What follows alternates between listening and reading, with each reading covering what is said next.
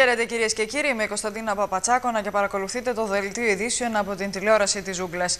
Παράνομη κρίθηκε η απεργία των διοικητικών υπαλλήλων στην τριτοβάθμια εκπαίδευση μετά από τη νέα προσφυγή που κατέθεσε στη δικαιοσύνη ο Υπουργός Παιδείας Κωνσταντίνος Αρβανιτόπουλος. Σύμφωνα με απόφαση του Μονομολίου Πρωτοδικείου Αθηνών, η απεργία πάντως δεν κρίθηκε καταχρηστική και σύμφωνα με πληροφορίες, οι διοικητικοί υπάλληλοι προσανατολίζονται εκ νέου σε απεργία με διαφορετικά αιτήματα.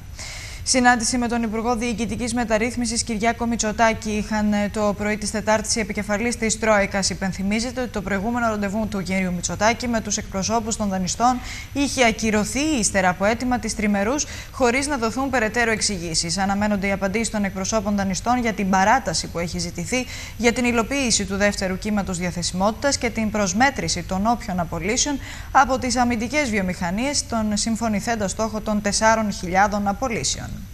Η έντονη πρωινή βροχόπτωση προκάλεσε μεγάλα προβλήματα στην Αττική, καθώς κεντρικοί δρόμοι της πρωτεύουσας μετατράπηκαν σε ποτάμια, ενώ σύμφωνα με ανακοίνωση της αστυνομίας, η πρωινή καταιγίδα οδήγησε σε διακοπή της κυκλοφορίας των οχημάτων στην οδό Πυραιός λόγω συσσόρευσης υδάτων από το ύψος της Πέτρου Ράλη έως τη Χαμοστέρνας και στα δύο ρεύματα. Το ίδιο συμβαίνει και στην υπόγεια γέφυρα της Λεωφόρου Συγκρού στο Δέλτα Φαλήρου, στο ρεύμα προς Αθήνα. Είναι τα σημεία που δημιουργούνται προβλήματα κάθε φορά που βρέχει. Τα συνεργεία του Δήμου και τη Νομαρχία δεν φρόντισαν, όπως φαίνεται, να καθαρίσουν τα βουλωμένα φρεάτια και έτσι η ταλαιπωρία εκατοντάδων οδηγών ήταν μεγάλη τη διαβεβαίωση ότι εντός του 2013, δηλαδή μέσα σε 1,5 μήνα, θα λειτουργήσει το σύστημα ελέγχου εισρωών νεκρών καυσίμων, έδωσε την Τετάρτη με δηλώσεις του Γενικός Γραμματέας Δημοσίων Εσόδων Χάρης Θεοχάρης, την ώρα που η Πανελλήνια Ομοσπονδία Πρατηριούχων Εμπόρων Καυσίμων καταγγέλει ότι το λαθρεμπόριο οργιάζει. Ειδικότερα, η Ομοσπονδία υποστηρίζει πως τα συστήματα ελέγχου εισρωών νεκρών καυσίμων, τα οποία έχουν εγκατασταθεί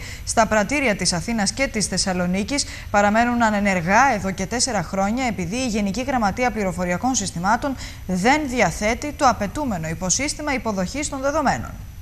Και τώρα λίγα λόγια για τον καιρό. Άστατο καιρό με βροχές και τοπικές καταιγίδες, αλλά και διαστήματα ηλιοφάνειας, κυρίως από το μεσημέρι και μετά, είναι τα κύρια χαρακτηριστικά του σημερινού καιρού. Τα φαινόμενα θα επηρεάσουν κυρίως την Ήπειρο, το Βόρειο Ιόνιο, τη Μακεδονία και τα νησιά του Ανατολικού Αιγαίου.